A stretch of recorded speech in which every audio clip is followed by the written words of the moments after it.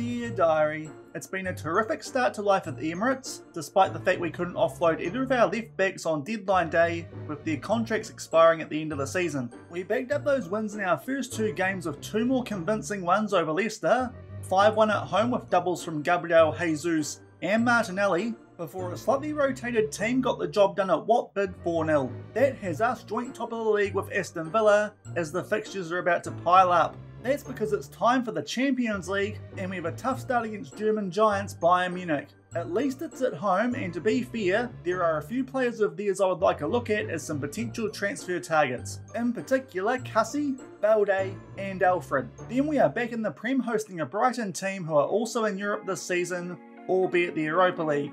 Hopefully, our perfect start continues. Until next time.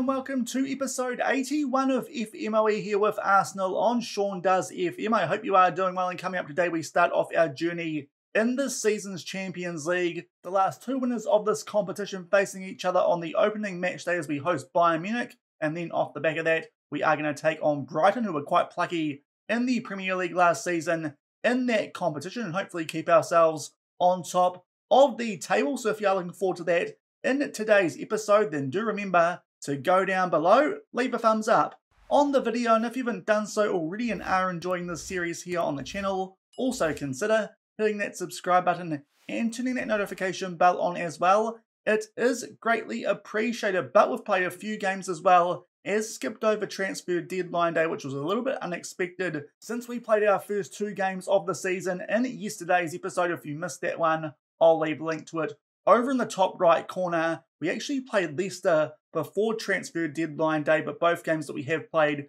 we picked up very convincing wins. Thankfully, we're able to rest a few players in that Watford game off the back of an international break, which alongside the start of the Champions League was one of the main reasons that we did try to do that. But we also had deadline day and things didn't quite go to plan. Before deadline day, we did get Gabriel Jesus to sign a new contract. It is just a one year contract, but it is going to start come the end of this season, so he will be hanging around for one more year here at Arsenal. But both our left backs, Kieran Tierney and Alexander Zinchenko, their contracts are expiring. They do not want to sign new ones, and unfortunately, the bids that we had come in for them were too low. And to be fair to Kieran Tierney, the bid for him did come in from Chelsea, and that just felt cruel trying to send someone there when they are so awful. In this save universe, those players are going to hang around for the remainder of the season, or at least until January. And hopefully by then, maybe we can actually find a replacement who is a little bit cheap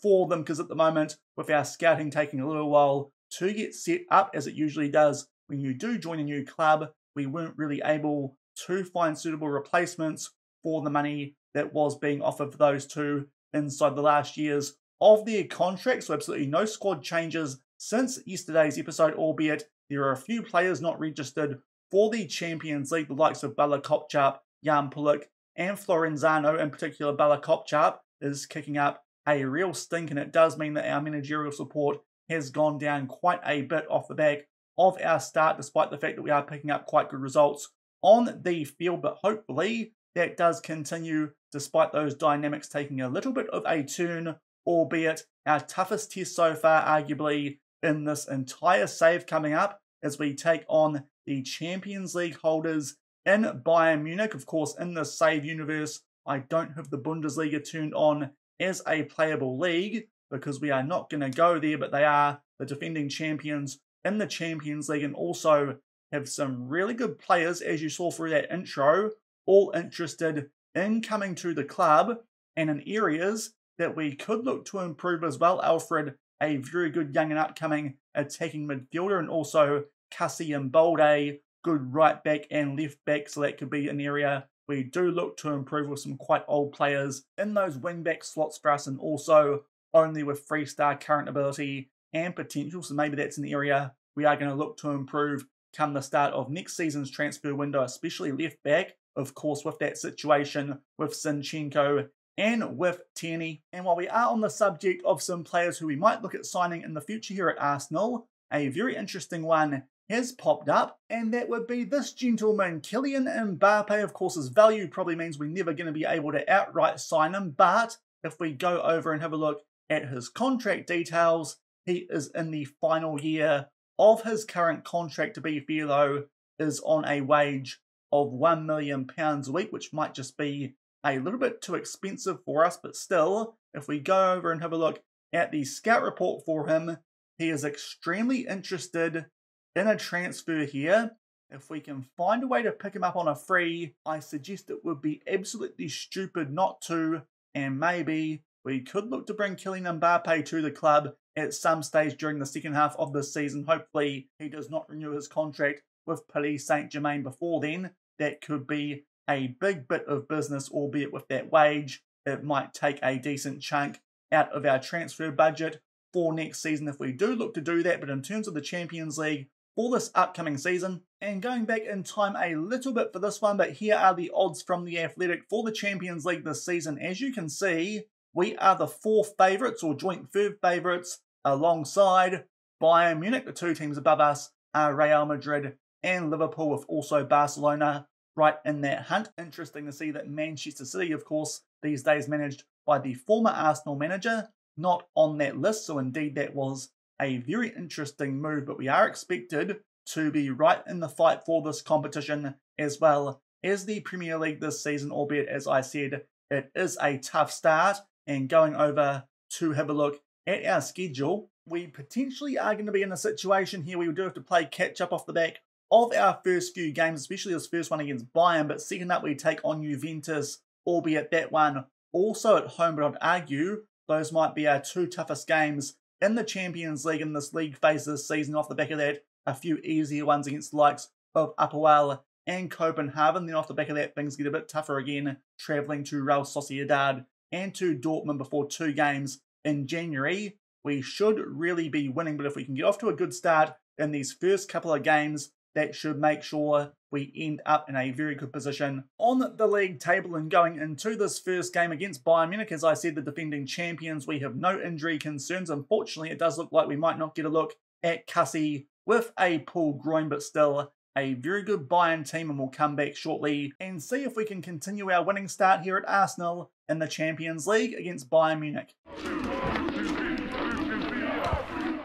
And of course, we get the Champions League music, which I have forgotten about. It's been a little while since we did manage in Europe, all the way back at Linfield, and this is also our first proper game in the Champions League as well. We are going full strength for this one, and hopefully can do a decent job against this Bayern Munich outfit. A few little changes here and there, of course, with that injury to Cussy, albeit he is still on the bench, but still good wingbacks here in the likes of Balde and Alphonso Davies. It is still a very strong team, the defending champions from the champions of two years ago, but hopefully at home we can pick up three points or at least one to start off this Champions League campaign. And just shy of the 10 minute mark, we get our first highlight here. It is Bayern Munich with a corner, Alfred puts this into the mixer, but thankfully Bamba heads that one away, albeit Alfred still on the attack and forces a decent save there. Out of Ramsdale, we are going balanced for this one, seeing as Bayern are one of the stronger teams we are going to take on this season. Now another corner exactly the same spot, but thankfully we hid that one away, albeit Alphonso Davies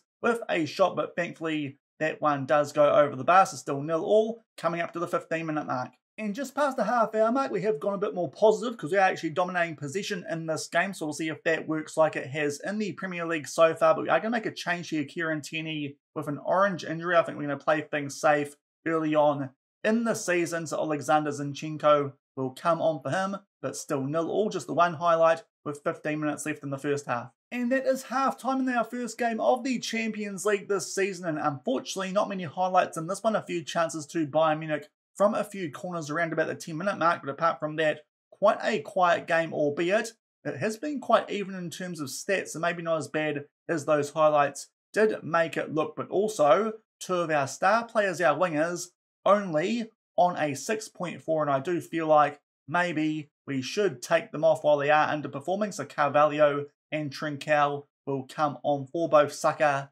and Martinelli at halftime. But overall, not a great first half, but to be fair, a point from this opening game, even though it is at home, would not be a terrible result. But hopefully, we get a few more highlights in the second half. We'll get things back underway. Still nil and nearly up to the 69 minute mark. It's a nice time for another highlight in this game. It has taken a few while, and Bayern Munich here are on the attack. Saliba will head that one away, as unfortunately I just roll on my scrolly there bit on my mouse a little bit too much, and now a giveaway. Alfred gets in behind. It is a poor pass there, I think, that did give the ball away. Missed it a little bit there while I was getting the camera angle back to how it should be with the zoom, but I think it was Bamba who has given the ball away. He did that in yesterday's episode against Newcastle, but thankfully did not cost us. To be fair, there, Koopmeiners probably could have been a bit more alert, but it's a giveaway. You can't do that against a team like Bayern Munich, and that makes it 1 0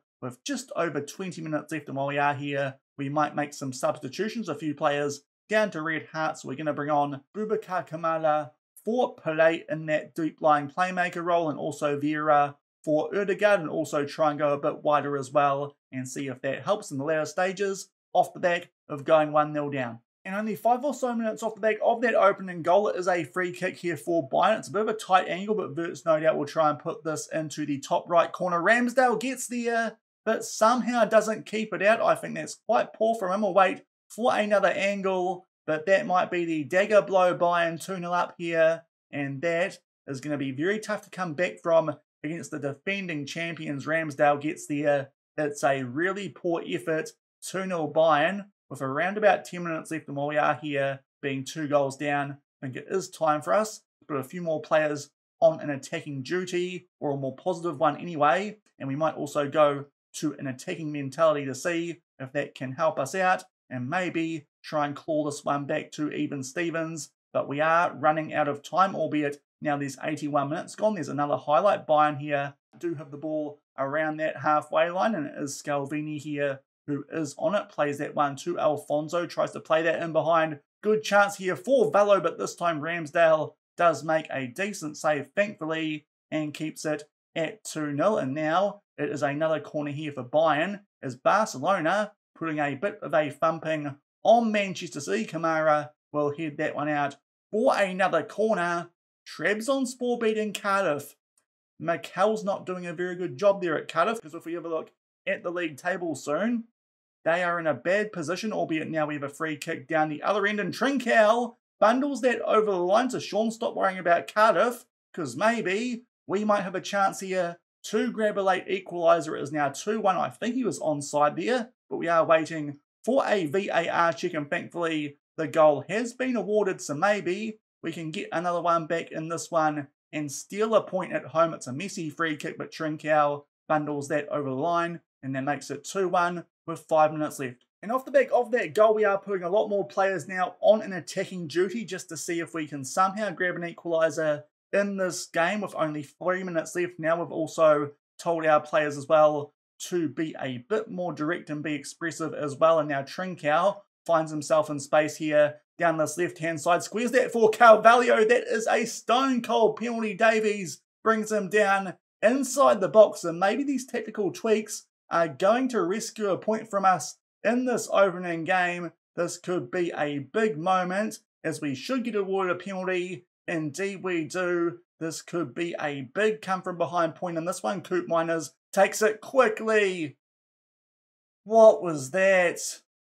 That is horrible, that from Koopmeiners, That's almost a sellable offence. That is a terrible idea against Bayern Munich trying to do a chip penalty down the middle.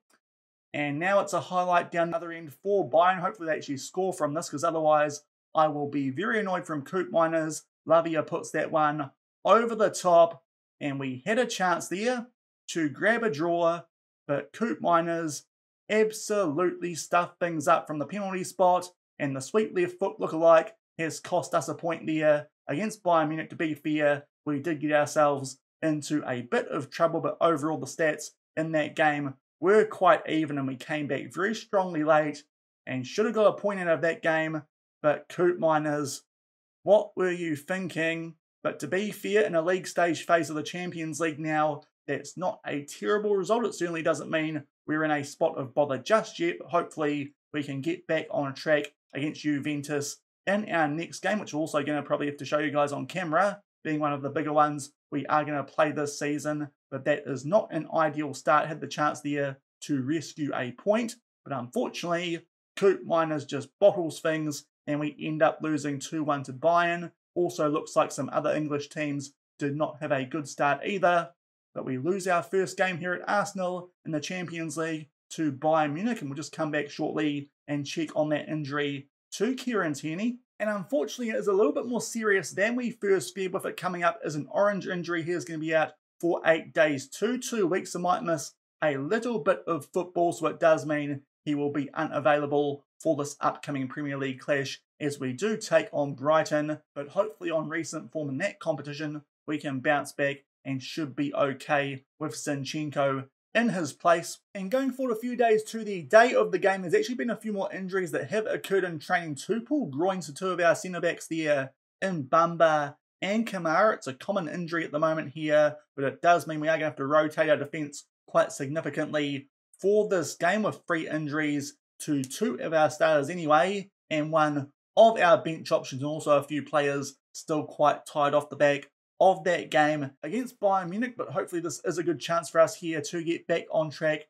and stay on top of the Premier League because Brighton so far have been a little bit shaky to start things off all the way down in 16th, a little bit surprising off the back of a good campaign last season, which did see them end up in the Europa League. They've picked up a win in that competition and against Tottenham to start the season in the Prem alongside that, but as well, they've lost games to Middlesbrough and Aston Villa and drawn with Brentford. So they do look like a team at home that we should be beating very similar in terms of personnel to what they did look like last season. They've got a few interesting players there in the likes of Emil Smith Rowe, who at one stage we were looking at signing to fill a homegrown club requirement. And also at the back, Gabriel, a former Arsenal centre back who did get sold there a couple of seasons ago. Definitely not some of my work there, but he has now played a few games for Brighton off the back of Arsenal making a little bit of a profit on him, but certainly a few players coming back to the Emirates for this one. But hopefully, despite some rotation, we can get back on track and we'll come back shortly with the action and hopefully pick up three more points as we take on Brighton. And here are the team sheets for this game. Back in the Premier League, as you can see, a few changes, especially in defence. Yakubu and Bella Kotchap in defence alongside Zinchenko at left back and also Ugarte comes in for Koopmeiners who had it coming off the back of that penalty there as Brighton, as you saw before, a few ex-Arsenal players in this lineup, but off the back of the early season form, hopefully we can pick up three more points and get back on top of the Premier League. And a very early highlight in this one, it's a free kick to Brighton and Mac Allister there really test Ramsdale going for that right corner, much like Wirtz did in that previous game, to be fair, it wasn't all Koopmeiners' fault because both the goals that we did concede were pretty much giveaways through that pass. It was, of course, from Bamba and now Ramsdale. Another mistake there with his hands looking a little bit shaky early on, but thankfully our defence clears that one away. But Brighton, another chance here through a corner, and now Gerson puts this far post looking for Iron. Now Smith Rowe will try and tidy this up, plays that over to Aya. Now Gabriel, a few of the ex-Arsenal players getting involved here. And now Hassan Allen tries to play this one back to Guindo. We'll see if anything comes from this highlight because it's threatening to be one of those ones that doesn't amount too much, but it is still Brighton here on the attack. They have the ball edge of the box. Tomiyasu wins this. Now Odegaard plays that one all the way across to Zinchenko, picks out Martinelli, who will try and do something down this left-hand side all the way back to Yakubu. Now, who was decent in that Champions League opener, has been decent so far since he has come to the club. Now, Tomiyasu from a tight angle will pick out Jesus. Thankfully, something did come from that long old highlight, and we grab an early 1 0 lead, and hopefully we can kick on from this early doors back in the Premier League. It was a long old highlight, but off the back of getting the ball back from a few Brighton attacks. Tomiyasu, nice ball here in the mix of Sanchez in goal. Probably should be getting to that one before Jesus, but we don't mind off the back of some of that stuff that happened in that previous game, and we make it 1 0, a few minutes shy of the 10 minute mark, and now it's a free kick. And somehow Tomiyasu bundles that over line. Sanchez having a shocker early in this one. The initial header, I believe that was from Yakubu, gets parried away right into the path of Tomiyasu, an early goal and an assist, and we go 2 0 up inside of 10 minutes. And just past the 20 minute mark, we get our next highlight in this one. The only bit of action that has happened since you were last here is Ugarte has picked up a yellow card, but nice ball there for Tomiyasu. Squares that one for Saka, big chance, but puts it wide. We are still 2 0 up. And nearly inside the last five minutes of this first half, and yet again we are on the attack so far. It's been a pretty good watch off the back of that early scare where Ramsdale did drop the ball from a corner, but thankfully counter-attacking goal off the back of that. Somehow Martinelli does win that ball thrust shot from a tight angle. That one does just go off target, probably. Would have been better squaring that one for a teammate, but not too long off the back of that. We are down the right end again with a from and Tomiyasu. Tries to pick out someone there inside the box, but Gabriel clears that one away. Ugarte will tidy things up. Will probably look to take him off at half time on that yellow, but Tomiyasu again is on the attack, looking quite dangerous today. Ugarte inside the box. Oh, it's Mo Salah like that. He puts that one away inside the far post. 3 0 just before half time, and that should be three points yet again in the Premier League. And Tomiyasu having some game here, two assists and a goal now, albeit that was mostly some individual brilliance there from Ugarte, our backup defensive midfielder behind Koopmeiners, giving me something to think about off the back of what happened in that Bayern Munich game, and that should make it 3 0 going into half time. And that is a very good first half, as I said off the back of an early scare from those early corners to Brighton. But since then, we have well and truly got on the front foot, largely thanks to Tomiyasu. We'll make one change here at half time with Ugarte on that yellow card. We will take him off. And our options on the bench today, I think we'll give Sambi Lokonga the expensive signing, which we didn't make, some game time, and see if he can do anything in the second half. But things going very well in this one so far. We'll get things back underway with that 3 0 lead. Now, about 10 minutes into the second half, it looks like yet again we might be on the attack. It could be a bad scoreline here for Brighton. And to be fair, most of the games we have played in the Premier League so far,